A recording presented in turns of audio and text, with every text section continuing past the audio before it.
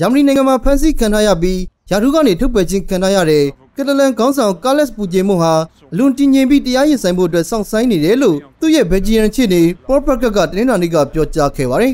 ။ပူဂျေမွန်ရဲ့စပိန်ရှင်တွေဟာဟမ်ပတ်ကိုရောက်ရှိလာပြီးသူ့ကိုကူညီသွားမှာဖြစ်တယ်လို့ဘက်ကတ်ကအတည်ပြုပြောကြားခဲ့ပါတယ်။ပူဂျေမွန်ကိုကန့်သက်ထားတဲ့စီကန်းချက်တွေအောက်မှာအပြည့်အဝလွတ်ပေးဖို့ဖြစ်နိုင်ခြေရှိတယ်လို့သူကကြံပေးခဲ့ပါတယ်။ ဒီနေ့နဲ့ဘေးချင်းခံရတဲ့အခြားကတလန်ခေါင်းဆောင်နောက်တူရဲ့ရှင်းနေလဲဖြစ်တဲ့ဘက်ကတ်ကရဲရီကပူပေါင်းဆောင်ရွက်သွားဖို့ပြောလာမယ်ဆိုရင်ရဂျီယမ်မှာပြည်နယ်တံပေးချင်းခံရတဲ့ခေါင်းဆောင်၃ဦးဟာရဲတပ်ဖွဲ့တွေနဲ့ပူးပေါင်းဆောင်ရွက်သွားမှာဖြစ်တယ်လို့ပြောကြားခဲ့ပါတယ်။ဦးဂျင်မွန်ရဲ့ဘာစီလိုနာခြေစိုက်ဆိုးဟာတရားရုံးတားမြစ်ချက်ကိုမလိုက်နာဘဲစပိန်ချင်းမြောက်ပိုင်းဒေသမှာလွတ်လပ်ရေးဆန္ဒခံယူပွဲကိုအော်တိုဘာလကကျင်းပခဲ့တာဖြစ်ပါတယ် Oui, c'est- c'est c'est possible. ဟုတ်ပါတယ်ပူဂျင်မွန်ကိုလွတ်ပေးနိုင်ခြေရှိပါတယ် ဒီလိုလုပ်ဖို့ဥပဒေထဲမှာပါပါတယ်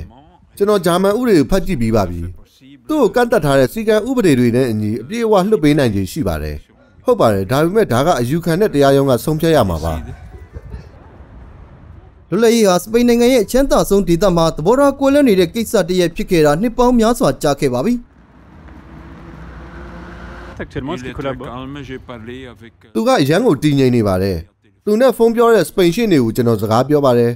သူကအရန်ကိုတည်ငြိမ်နေပါတယ်အရန်တည်ငြိမ်နေပြီးတော့လောလောဆယ်မှာကျွန်တော်တို့ဘာသတင်းမှမပြောနိုင်သေးပါဘူးဒီနေ့ကြားနာစစ်ဆေးသွားမှာဖြစ်ပေမဲ့လောလောဆယ်ပြောစရာဘာမှမရှိသေးပါဘူး On n'a pas encore de nouvelles.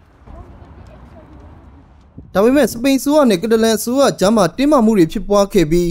ဦးဂျင်မို့ဖမ်းခံရပြီးနောက်မှာကတလန်ဒေသမှာရဲတွေနဲ့ရုံးရင်ဆန်ကဲဖြစ်ပွားခဲ့တာကြောင့်ဒါစင်နဲ့ချီပြီးဒဏ်ရာရရှိခဲ့ပါတယ်။ဂျာမန်ရဲတွေဟာစပိန်နိုင်ငံကထုတ်ပြန်ထားတဲ့ဥရောပဖမ်းဝရမ်းကိုလိုက်နာဆောင်ရွက်ခဲ့ပြီး ဦးဂျင်မို့ကိုတနင်္ဂနွေနေ့ကဖမ်းဆီးခဲ့တာဖြစ်ပါတယ်။ဒိမန်နိုင်ငံကနေဂျာမနီကိုမော်တော်ကားနဲ့ဝင်ရောက်လာတဲ့သူကိုဖမ်းဆီးခဲ့ရမှာ